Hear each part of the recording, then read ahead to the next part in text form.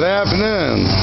Sunday, October 16th, uh, 2015. This is part two of heating problems with the PT Cruiser. Yesterday we had part one where we showed you that one, they were not using the bleeder valve when they were uh, going ahead and try and get a good look at it here.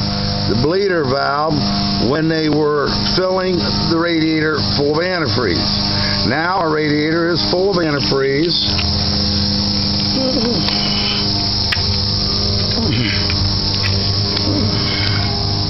Completely full. There's no air bubbles in the aluminum block. And our reservoir is filled properly for our engine, a warm engine.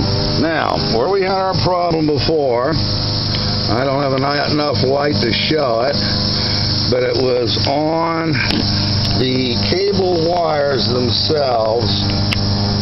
Uh, I'm not going to get a picture of it. That's part of it going through underneath the fan. But the cable wires themselves had pigtails that were bad. They were in part one.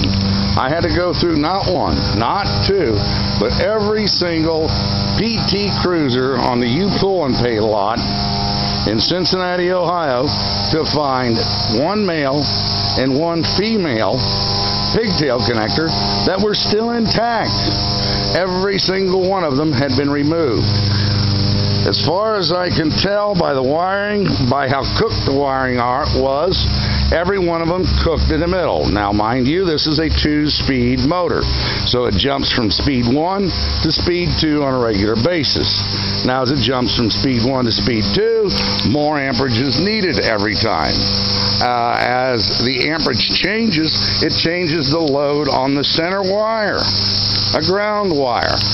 Well, duh, that isn't hard to fix. We went ahead and we used a scotch tab directly on the fan put the scotch tab on the fan, blue lead to the small lower speed motor, and ran a direct ground from that side to the frame, and then we ran a direct hot wire straight up and into the fuse box, where we can buy at any advanced, any Napa, any single store that sells auto parts a Add-A-Circuit. In other words, instead of holding two, uh, one fuse, this now holds two fuses. It's a fusible link, and it's hitting that yellow wire because I just plain didn't have any red, and it goes down to the scotch tab that we are using to power that motor. So now, instead of having an overheating problem,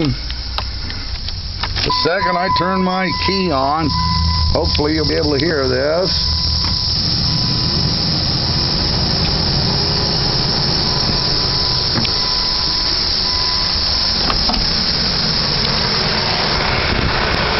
Now maybe you can see this.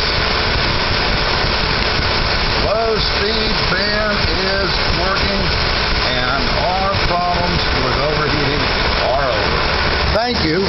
This has been another installment of Bob the Pundit for the do-it-yourselfer, homeowner, handyman, and backyard mechanic. Answering those questions